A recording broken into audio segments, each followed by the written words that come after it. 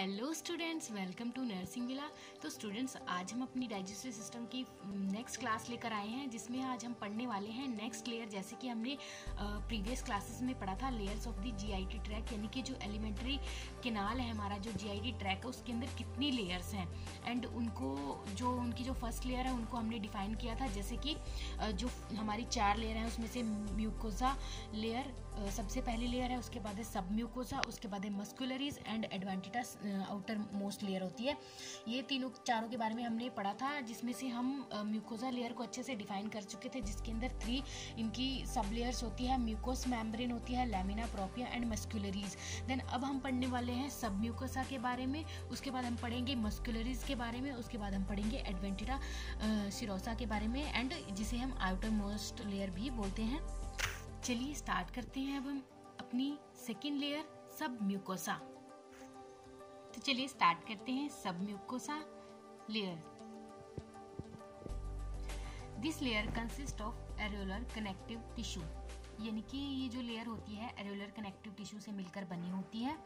And highly vascular layer presence of water that means highly vascular layer होती है that means यहाँ पर बहुत सारी वेसल्स प्रेजेंट होती हैं लाइक ब्लड वेसल्स हो गई आर्टरीज वेन एंड कईयों में लिम्फेटिक फ्लूड होता है।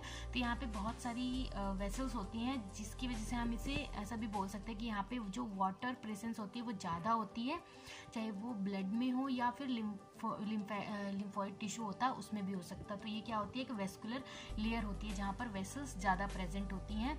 And submucosa contain a portion of submucosal plexus plexus of Meissner important line है एंड प्लेक्सिस ऑफ़ मेजेनर ये कई बार जनरल जो हमारी नॉलेज होती है नॉटमी के रिगार्डिंग तो कई बार वाइवा वगैरह में भी प्रैक्टिकल में भी पूछे जाते हैं प्लेक्सिस ऑफ़ मैनेजर क्या होते हैं, कैसे होते हैं। तो ये क्या होता है, एक तरह से नर्व्स होती हैं नर्व्स का एक बंडल होता है, जो कि यहाँ पे प्रेजेंट होता है, जो इसकी जो मूवमेंट्स होती हैं, इनकी कॉन्ट्रेक्शंस वगैरह होती हैं, इनको मेंटेन रखता है या फिर कंट्रोल करता है। तो प्लेक्सिस क्या करते हैं, देखिए प्लेक्सिस क्या होता है regulate the movement of mucosa यानी कि जो भी म्यूकोजा है, उसकी मूवमेंट को कंट्रोल करता है। ये क्या होती है? नर्व्स होती हैं। सब नर्व्स का एक बंडल होता है जो यहाँ पर इस लेयर में सप्लाई होती है। देन इसके बाद क्या होता है? Plexus contain sympathetic and parasympathetic nerve supply यानी कि यहाँ पे जो सिंपथेटिक और पैरासिम्पथेटिक है, दोनों की सप्लाई होती है। तो आप समझ कि सब म्यूकोजा क्या होता है, सब म्यूकोजा लेयर में। मैंने सभी पॉइंट्स सभी जो भी चीज़ें बताई हैं, एक पॉइंट्स में बताई है, क्योंकि ये एनाटमी को डिफाइन करने का प्रेजेंट करने का बहुत अच्छा तरीका होता है। मेरी राइटिंग इतनी अच्छी नहीं है बट मैंने फिर भी ट्राई किया है। क्योंकि अगर जब हम लिखते हैं एनाटमी को तो अगर हम उनको पॉइंट्स में main main topic main main important points बताएँ या लिखें तो वो बहुत अच्छा प्रेजेंटेशन कहलाता है, जिसकी वजह से हम अच्छे मार्क्स भी गेन कर सकते हैं। तो चलिए अब हम अपनी सेकेंड लेयर पर आते हैं जो हमारी है muscularis muscularis also known as muscles layer इसे हम मसल्स लेयर के नाम से भी जानते हैं. It consist of two layer two layer से मिलकर बनी होती है outer most layer and inner most layer ठीक है? उसके बाद क्या आता है? जो आउटर मोस्ट लेयर होती है कंसिस्ट ऑफ़ लॉन्गिट्यूडिशनल मसल्स यानी कि ये कंसिस्ट करती है कंटेन करती है लॉन्गिट्यूडिशनल मसल्स एंड जो इनर मोस्ट लेयर होती है इसमें क्या होती है? सर्कुलर मसल्स प्रेजेंट होती हैं. उसके बाद आता है it it contain the major nerve supply as like plexus यहाँ पर भी बहुत सारी नर्व सप्लाईज होती हैं, जिसे हम प्लेक्सिस भी बोलते हैं, जैसे कि हमने ऊपर वाली लेयर में पढ़ा था। देन क्या होता है, जो प्लेक्सिस होती हैं कंट्रोल करती हैं contraction of the muscle muscularis जो भी यहाँ पर मसल्स में कॉन्ट्रेक्शंस होती हैं, उन कॉन्ट्रेक्स कॉन्ट्रैक्शन को कौन कंट्रोल करता है? प्लेक्सिस कंट्रोल करते हैं, यानी कि जो भी नर्व सप्लाई होती है, वो कंट्रोल करती है। And contraction help in the mixing of food जब भी जीआईटी ट्रैक में कॉन्ट्रेक्शन होता है तो उसी की वजह से जो भी हम फ़ूड लेते हैं डाइजेस्ट होता है मिक्स होता है सलाइवा के साथ, या भी जो भी डाइजेस्टिव जूसेस होते हैं सिक्रेशंस होते हैं, उनके साथ मिक्स होता है कॉन्ट्रेक्शन की वजह से, क्योंकि वहाँ पर जो भी मसल्स होती हैं, उनमें कॉन्ट्रेक्शंस होते हैं। And this type of contraction is contraction of muscles is known as the peristalsis movement peristalsis movement students ये भी बहुत इंपॉर्टेंट पॉइंट है। Uh, कई बार वाइमा में या फिर अपना जो भी जनरल नॉलेज होता है तो पूछ लेते हैं कि पैरास्टालसिस मूवमेंट क्या होते हैं। तो जी ट्रैक में जो भी कॉन्ट्रेक्शंस होती हैं डाइजेस्टिव सिस्टम uh, में uh, जो भी फ़ूड होता है उसको सलाइवा के साथ मिक्स करने के लिए या फिर डाइजेशन के लिए जो भी मूवमेंट्स होते हैं कॉन्ट्रेक्शंस होती हैं उसको हम क्या कहते हैं? पैरास्टालसिस मूवमेंट कहते हैं। तो ये था हमारा दो लेयर्स हमने पढ़ लिया, अब हम पढ़ेंगे अपनी थर्ड फोर्थ लेयर यानी कि हम म्यूकोसा सब म्यूकोसा एंड मस्कुलरीज पढ़ लिया हमने, अब हम आते हैं अपनी फोर्थ लेयर पर। तो स्टूडेंट्स ये है हमारी फोर्थ लेयर जो कि लास्ट लेयर है आउटर मोस्ट है सुपरफिशियल लेयर है एडवांटिटा सिरोसा दो नाम है इसके, आप ध्यान दीजिए एडवांटिटा एंड सिरोसा जो कि आउटर मोस्ट लेयर है आउटर कवरिंग है. तो चलिए स्टार्ट करते हैं हम इसे. It is the outer most layer consist of loose fibre tissue this layer cover the abdominal organs called the peritoneum यानी कि ये जो लेयर होती है आउटर मोस्ट होती है लूज फाइबर कनेक्टिव टिश्यू से मिलकर बनी होती है एंड ये जो होती है एब्डोमिनल के जितने भी ऑर्गन्स होते हैं एबडोमिनल कैविटी के, उनको कवर करती है, जिसे हम क्या बोलते हैं पेरिटोनियम तो हम पढ़ते हैं पेरिटोनियम क्या होती है।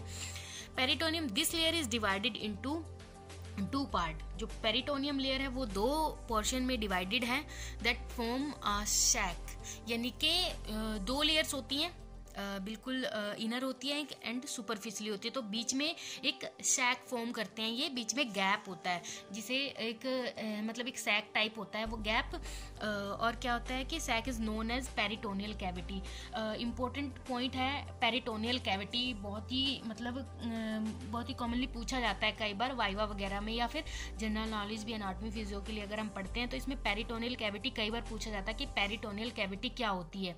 तो यहाँ देखिए जो लास्ट वाली हमारी लेयर होती है ये जीआईटी ट्रैक की एडवांटिटा सिरोसा या फिर पेरिटोनियम उसमें दो लेयर्स होती हैं आउटर मोस्ट लेयर होती है इनर मोस्ट लेयर होती है, ठीक है? दिखा देते हैं हम आपको एक तो होती है पेरिटल पेरिटोनियम होती है एंड एक विसरल पेरिटोनियम होती है।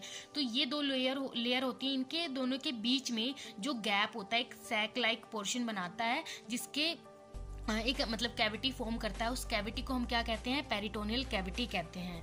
And filled with a serous fluid और जो ये कैविटी होती है, वो एक फ्लूड से फिल होती है। यानी कि वो जो कैविटी होती है सैक होता है, उसमें कुछ फ्लूड फिल होता है, जिसको हम क्या कहते हैं? सीरस फ्लूड भी बोलते हैं और पेरिटोनियल फ्लूड भी बोलते बोलते हैं। यानी कि सीरस कैविटी भी बोल सकते हैं पेरिटोनियल कैविटी भी बोल सकते हैं। और जो उसके अंदर फ्लूड होता है तो उसको सीरस फ्लूड भी बोल सकते हैं और पेरिटोनियल फ्लूड भी बोल सकते हैं। देन इसके बाद आता है इसकी दो लेयर्स जो हमने अभी भी बताई आपको peri, parietal peritoneum and visceral peritoneum जो पेरिट जो पेरिटल पेरिटोनियम होती है वो आउटर लेयर होती है जो विसरल पेरिटोनियम होती है वो इनर लेयर होती है। मैं आपको दिखाती हूँ। यहाँ देखिए जो विसरल पेरिटोनियम है वो इनर मोस्ट लेयर है जिसने जो भी जीआईटी ट्रैक के ऑर्गन्स हैं उनको कवर किया हुआ है देखिए।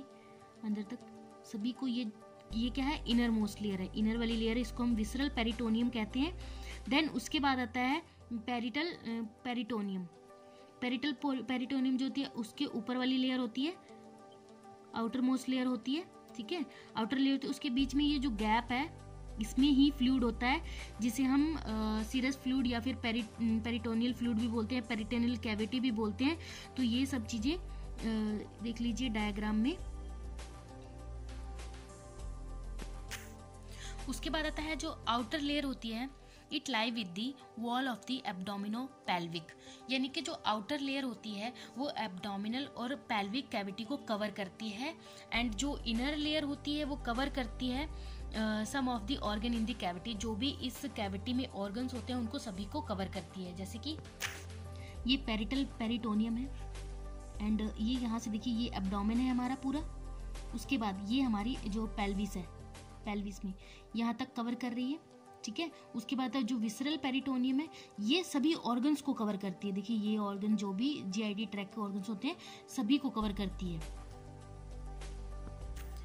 सीरस मेम्ब्रेन और पेरिटोनियम लेयर जो भी होती है is also associated with the heart is known as pericardium and with the lungs called the pleura यानी कि ये जो लेयर होती है, वो कंटिन्यू होती है ऊपर तक।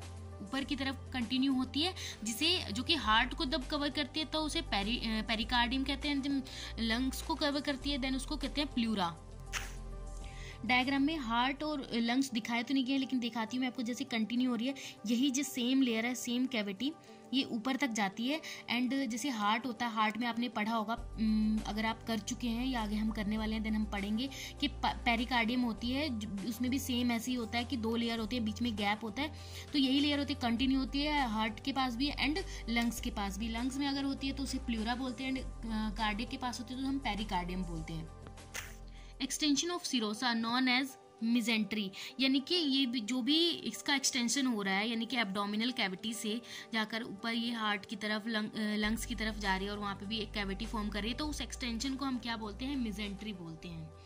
तो ये था हमारा ओवरऑल जीआईटी ट्रैक की जितनी भी लेयर्स थी, उसको हमने कवर कर लिया है। देन हम अगली वीडियो में पढ़ने वाले हैं माउथ के बारे में। एंड स्टेप वाइज हम पूरा का पूरा जीआईटी ट्रैक ये जीआईटी सिस्टम डाइजेस्टिव सिस्टम हम कवर करने वाले हैं, जिसके लिए आप हमारे चैनल को लाइक शेयर एंड सब्सक्राइब ज़रूर करें। और कमेंट करके बताएँ अगर आपको कुछ भी ऐसा प्रॉब्लम है या कुछ भी ऐसी क्वारीज हैं जो आप अपनी तरफ़ से चाहते हैं कि हमें इस तरीके से कुछ जानना है या कुछ एक्स्ट्रा नॉलेज चाहिए तो उसके बारे में भी आप हमें कमेंट कर सकते हैं। Thank you students